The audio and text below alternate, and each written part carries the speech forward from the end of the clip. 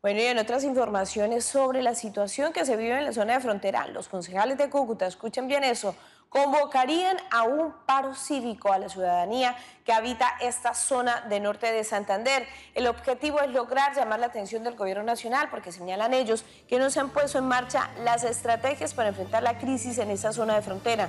Argumentan que nunca se le ha prestado la atención necesaria ni la intervención urgente que tanto necesita Cúcuta y sus municipios aledaños. Hacen el llamado y es que están esperando una respuesta pronta del gobierno nacional.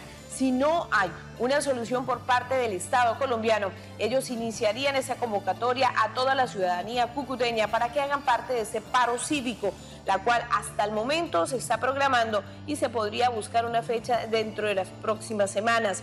Las, eh, los hechos armados que se han venido presentando como los enfrentamientos de los que hablábamos hace un momento por parte de los grupos ilegales y también de todo lo que ha venido afectando en materia social y económica a la ciudadanía con la llegada de venezolanos, tiene preocupados a los cabildantes de la capital norte santanderiana. Convocarían a un paro cívico porque están cansados de esperar que las estrategias a favor de Cúcuta lleguen e infortunadamente no aparecen.